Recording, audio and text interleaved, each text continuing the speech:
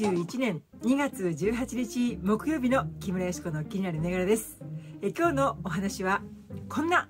お話です。2021年2月18日木曜日の木村よしこの気になる銘柄です。え本日の収録時刻は当日の8時38分となっております。さて今日はですね、コメント欄に、まあ、ワクチンの件をね、何件かいただきましたので、ワクチンの一般接種、どうも5月頃になりそうですけども、打つか見送りかを株価指標から見てみたいと思います。え今日の動画の構成は、気になる銘柄1をまずお話しし、そしてコメントいただいたワクチンの件ですね、え株価指標などから分かりやすい判断材料をお示しできたらなと思っています。そしてコメントいただいた味の素の件ですね、えー、その後で気になる銘柄の詳細ですね。そして気になる銘柄2の紹介と解説、そして締めの雑談、そしてコメントいただいた JAL の件はですね、もう少し調べて明日お届けできたらなと思っています。さて今日の気になる銘柄1は、コード番号7587のパルテックですね。輸入半導体を扱う開発型の技術商社です。解説は後ほどゆっくりとさせていただきますね。株価は523円引けでこのような展開となっておりました。さてですね、新型感染症の対象ワクチンがいよいよ日本でね、打たれ始めています。お医者さんがね、第1号ということですね。そうしましてですね、このワクチンなんですけども、拡散ワクチンが主流となっておりまして、これは新しいタイプなんですね。で、この拡散タイプはですね、人体で広く試されていないんですよ。何しろ急がされて特貫工事で作ったワクチンですので、まあ、大量生産が簡単だという拡散ワクチンとなったわけなんですけれども、安全性、効果性、効果性はですね、まあ、20年ぐらいの検証をすっ飛ばしたものですので、人では試されないまま製品化されたものだということは、打つ前によくね、考えたいですね。また、人体で免疫を作ることは確認されているんですけれども、有害事象として発熱、頭痛も報告されていますね。また ADE が起こる可能性も言われております。この ADE なんですけども、実際に本当にかかってしまった時に重症化するリスクですね。まあ、半端な抗体である可能性もあると言われていますので、この点も判断材料のヒントにしてください。そして長期的な実証がありませんね。10年後、20年後の検証結果がないわけですので、これも判断材料としたいですね。そして抗体が何ヶ月持つのかということはまだ分かっていません。そして副反応が起こった場合、そして副反応で重症化した場合、どこで診療してくれるのか、誰が治せるのか、そもそも治るのか、責任の所在はどこなのか、手洗い、密、マスクなど風邪やインフルエンザを避けるのと同じように生活し、罹患を避ける生活様式で暮らすことが大切なのは言うまでもないという状況ですね。こうしたことを踏まえて打つかどうかをあの考えたいですね。これは、峰先生などが書かれた新型コロナとワクチン、知らないと不都合な真実、今ベストセラーになってますけども、こちらの本の要約でございます。さて、わかりやすい株価指標を次に示したいと思います。さて、私たちは投資家ですので、株価というね、足取りからえー、ワクチンを打つか打たないかのヒントを探っていきたいと思います。まず、ファイザー株ですけども、34.69ドルで、えー、引けておりますね、えこんな状況です。意外ですよね。あんまりピューと上がってないんですね。そうしまして、えモデルナ、え、178.53ドルで引けております。まあ、モデルナは急騰がね、非常に大きいですよね。さてですね、ファイザー、CEO らが保有株を売却していたということですよね。これ、ブルームバーグに昨年の11月12日に発表された記事です。さて、えー、製薬会社ファイザーの、ブーラ最高経営責任者 CEO はですね、保有する自社株の売却で約5億9000万円を手にしたそうです。そのワクチン期待で一部の製薬会社の株価が上昇し、これらの企業の幹部が保有株を売って利益を得る例が相次いでるということですね。えー、SEC に提出された文書によりますと、ブーラさんは、11月9日、昨年の11月9日にファイザー株13万株余りを売却しました。同社の副社長も株を手放したんですね。そして、その当日はですね、株価、ドイツのビオンテックと開発するワクチン候補の暫定結果を発表した後に急騰した。そこを売ったんですね。ファイザーさん、ファイザーの広報担当者は、両幹部の株式売却につきまして、個人的な資産計画の一部だと説明しました。また、モデルナのステファン・バンセル CEO もですね、今年50万株余りを売却済みだそうですね。これが11月12日に出た記事なんですね。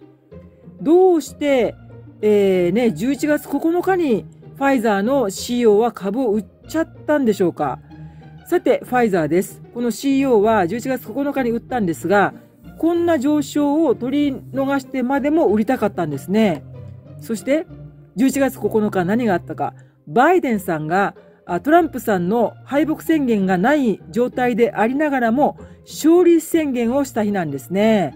いやいや、何か思わせられる、考えさせられることが裏にあるように思いますけどね。そしてモデルナ174.13ドル。こちら、えー、87.81ドルの時に売っちゃってるんですね。どうしてこの上昇を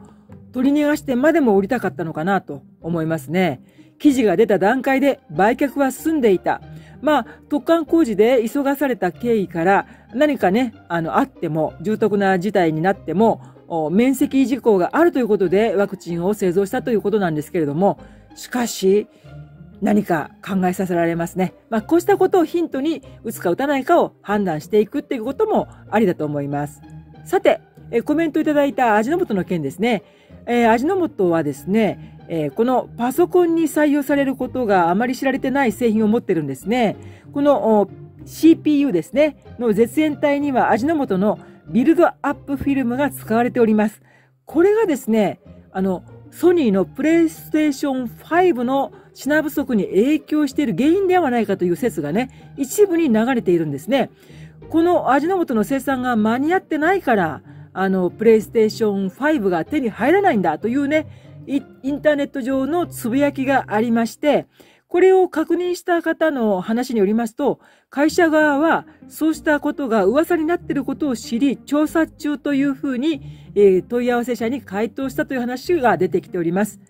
え、ソニーのプレイステーション5がですね、え、海外の生産ラインが進まず、世界的に供給不足となっているのは知られている通りですね。そのため転売が横行しまして、現在も数万円高い値段で取引されています。まあ、本当にゲームをしたい人にとっては入手が困難だということでですね、まあ、どうしてかなとその背景を探った結果、メーカーが市場規模の大きい欧米への輸出をえー、優先してるからではないかということですね。で、ソニーにとりまして、ゲーム事業は営業利益の4割を稼ぎ出す収益の柱ですから、本体が購入できないため、ソフトそのものも売り上げが伸びていないので、まあ、これ消費者離れが進むのではないかということで、戦略の見直しが必要という記事が高木さんの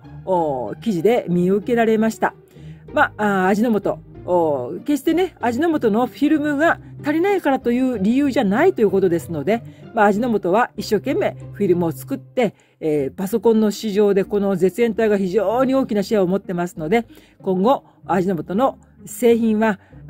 食品だけではないよということを覚えておきたいなというふうに思いました。味の素のフィルムが原因ではないということで、一応ね、あの、ソニーの戦略見直しを期待したいところですね。さて、えー、今日の気になる銘柄の詳しい解説に移っていきます。えー、さて今日の気になる銘柄1の、えー、パルテックですね。コード番号7587のパルテック。えー、何故今日取り上げたかということなんですけども、えー、社長が交代しましてですね、現、あの、今まで社長を務めてた高橋さんは会長になられまして、新社長が矢吹さんですね。えー、また今後ですね、えこの業績がですね、え3.8倍に一株純利益が伸びてる点を評価しまして、まあ、株価の居所がまだ523円ですからね、買いやすいということを評価したいなと思いました。また、PBR がですね、0.60倍で、あの PER は決して割安ではないんですけども、PBR が0.6倍という点も買いやすいなというふうに思います。また、あの、定位株ですからね、523円、5万円で買える株である点も評価したいなと思いました。えー、パルテックのですね、この昨日の終値、513円ですね。高値が527円ありました。えそしてですね、こちら、え PR、実績ベースではね、過去の、えー、高値、えー実績別で98.86倍ですけども、今回ですね、業績が改善してきたことからですね、PR は26倍ということになりますね。PBR は0.65倍ですね。配当利回りが1.91倍となっております。ということで、えー、こちら、7587パルテック。昨日の1日の日中足はこんなような状況ですね。ぜひですね、今後、ちょっと注目していきたいと思います。新社長のもとで、えー、ますます頑張っていただきたいなと願っております。えー、パルテックの大株主はこんな感じですね。えー、証券会社さんがね、名前をつられてますね。SBI 証券、楽天証券。このあの、SBI ホールディングス、SBI 証券さんも含まれて SBI ホールディングスさんは、フィンテックとかね、仮想通貨でまた株価が伸びておりますね。まあ、そんなような大株主のメンツが見受けられます。そして本日の気になる銘柄に、コード番号4185の JSR ですね。JSR、確かにね、株は、あの、こんな急騰しておりますので、昨日は90円高だったんですが、ちょっとね、買いづらいと思われるかもしれないんですけども、この会社、あの、今後ですね、ちょっと期待を持てるのかなと思う材料がありますので、見ていきたいと思います。まあ、証券アナリストのですね、えー、業績見通しが結構強気なんですよね。会社予想よりも相当強気なんですね。で、何故かと言いますと、半導体関連製品が牽引役となりまして、東京大学の量子コンピューター分野で連携している点を評価しているのかなと思いますね。この JSR、まあ、私はコンサバ人間ですから、340、えー、3425円、昨日の高値、高値の水準で、いきなり飛びついて買うよりはですね、まあ、この居所が良さそうな3240円あたりを目指したいなと思うわけですけど、まあ、買う場合は3200円から3300円どころで買えたらいいなと思うわけですけれども、えー、こちら、評価の高さを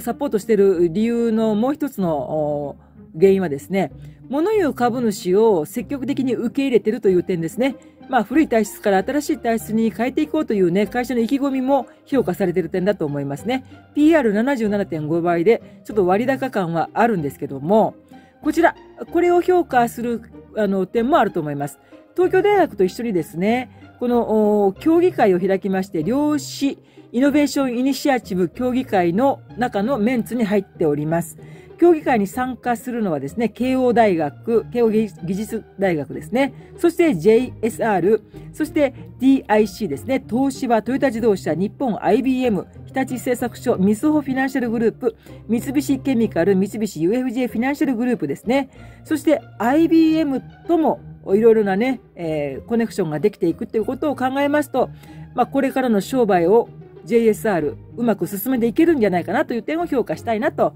いうふうに思いました。